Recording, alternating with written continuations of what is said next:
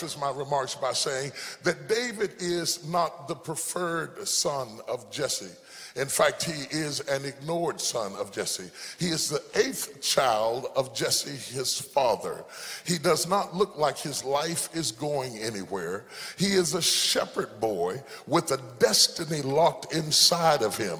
But at this moment in his life, at the early stages in his life, he is surrounded by mediocrity. Now, mediocrity is not a bad thing. Ordinariness is not a bad thing until you have greatness inside of you. When you have greatness inside of you and you're surrounded by mediocrity, you can be tormented by what other people are satisfied with tormented and taunted by the fact that there is a sense, there is an inner knowing within all of us that we are people of purpose and that something is supposed to happen in our lives.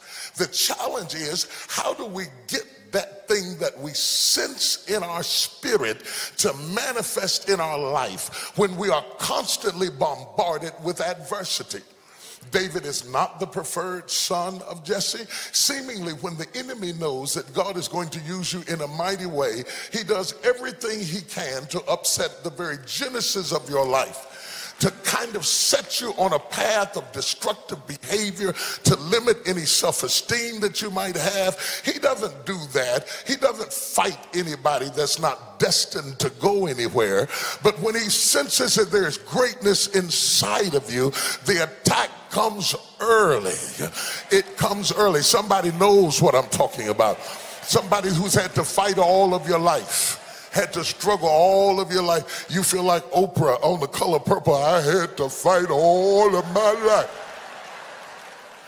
You've been through all kinds of stuff, and that is not a sign of weakness, it is a sign of greatness. And David has greatness down inside of himself, but he has to go through a process for that greatness to be revealed. And over a period of time, God begins to bring forth his purpose.